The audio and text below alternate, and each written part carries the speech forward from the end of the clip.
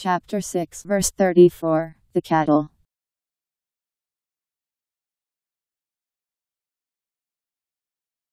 Messengers indeed have been denied before thee, and they were patient under the denial and the persecution till our succor reached them. There is none to alter the decisions of Allah. Already there hath reached thee somewhat of the tidings of the messengers we sent before.